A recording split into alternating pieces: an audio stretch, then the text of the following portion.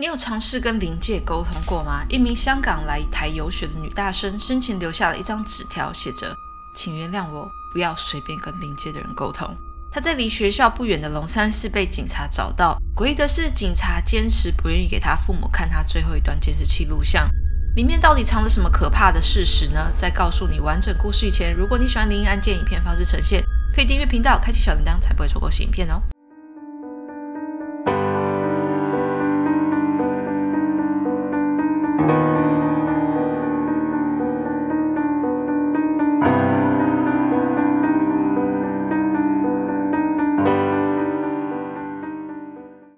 到二零二二年九月初，桃园龙华科技大学半夜二零六号四人宿舍房间内，大家都熟睡，除了其中一名程序女学生，因为睡前喝了太多水，爬起来上厕所。尿完后，她开了门，突然吓一跳，因为她不知道自己的室友小钟什么时候突然走到洗手台前，站在那里对她微笑。她顿时感到背脊发凉，但挥挥手就爬回自己的床上。后来没多久，就看室友也爬回楼梯回自己的床铺上。他跟中心女学生住在一起两年，都没有发现她会梦游。中女一直以来都很内向安静，自己从香港来台湾念书。几天过后的晚上，中女的妈妈在香港接到女儿的电话，说自己好像遇到不干净的东西，很常看到他们，让她很不开心。当时钟妈妈并没有放在心上，只觉得她因为在外地念书压力大。所以就想照原计划，十月四号再去找他，陪他散散心。但奇怪的是，九月十五号，他跟妈妈视讯，说自己已经跟同学出去玩，住在饭店里面。当时周妈妈觉得女儿语气好像轻松了一些，精神也好很多。聊了约一小时左右，周妈妈就提议要跟女儿的朋友打招呼，但却被拒绝，说现在不太方便。当时妈妈以为她交了男朋友，就没有再过问了。时间过了一个礼拜，到了九月二十八号的夜晚。龙华科技大学宿舍的门禁时间到了，即将要关门，但钟女却没有回宿舍。她的室友跟她通完电话后，得知小钟要在外面过夜，明天要去龙山寺。室友就想说，她应该是要去庙里拜拜散心。她也顺便跟另外两个室友说，钟女不回来，然后跟他们提起上个礼拜她梦游的事情。没有想到，另外两个人也遇过钟女怪异行为的情况，像是她对着空气讲话，发出诡异笑声。另外一个室友只是看到他自己一个人在房间玩通灵的游戏。他们发现小钟这些异常行为都是在暑假过后返校后开始的。到了隔天九月二十九号，一名清洁工在下午两点往龙山寺楼梯走下去，到公共厕所要做清洁工作。但工作到一半，他发现女厕倒数第二间厕所，从他进去十分钟过后都没有人出来，门也是上锁的。他就敲了门，没有人应门。他低头看，看到了一双鞋子。所以他又等了十分钟，但已经将近半小时过了，这里面的人都没有动静。他又再次敲了第二次门，里面的人还是没有回应。他低头看地板有几件衣服，他赶紧通知保全来开锁。门打开后，突然一名女子倒在地板上，没有生命真相。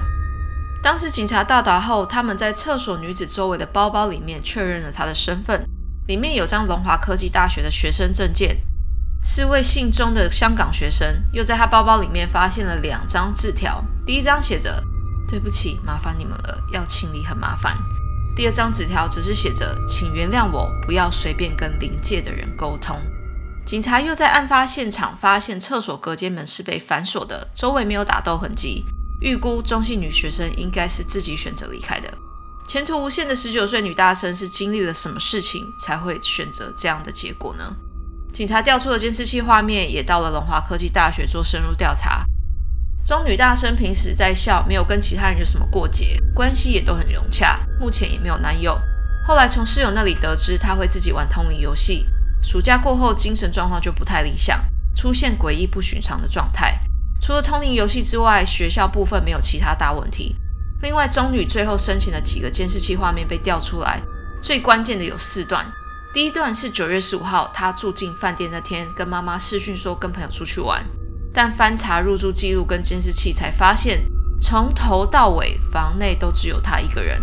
再来是九月二十八号，他入住饭店的画面，那天他依然是自己一个人入住，穿着跟二十九号被发现时差不多的衣服。最后是他离世那天，九月二十九号上午十一点，他到龙山寺，画面显示他进了女厕所，待了二十几分钟后又走出洗手间。然后过了二十五分钟后，他再次走回女厕，这次就再也没有出来了。这中间都没有人进去，最后才看到清洁人员约下午两点进去打扫。他第一次离开女厕二十五分钟，到底是做了什么，去了哪里？这也是最重要的第四段监视器录像。每个看到画面的当局人员背脊都有点发寒，里面到底隐藏了什么秘密呢？画面显示他离开厕所后，到了寺庙的后殿，跪在神尊前开始膜拜。第一次圣杯，他的表情看起来有点恐惧，又再继续宝贝，连续三次都拿到圣杯。他停顿了一下，又再丢了三次，一样都是圣杯。他开始大哭，摇头，情绪崩溃，跪在地上，头重重的往地下扣。整个过程大概有二十五分钟。然后他擦了眼泪后，又进了女厕，这次就再也没有出来了。他到底问了神明什么问题，让神明笃定的只给他圣杯呢？他的父母也许永远都不会知道了。但他留下的字条说，千万不要和灵界的人沟通。他的爸爸回头思考，发现其实很早以前就已经观察到女儿有一些异常行为。他回香港的那个暑假，房间的门都一直是开的。原本女儿很注重自己的隐私，很讨厌父母擅自进入她的房间。但他想起某天晚上，他走进她房间，想看她在做什么，女儿却反常的没有生气，只对他微笑。也很可能从那个时候开始，他女儿就害怕独自一个人在一个空间内。从那张留下来的字条，负责这个案件的警察突然想起十年前龙山寺有类似的命案。二零一二年四月二十六号的早上六点，一位早上去拜拜的访客突然在鱼池发现了浮在水上的身体，法医判定他大概是在水里面有五个小时，这代表他前一晚上人就在庙里没有出来。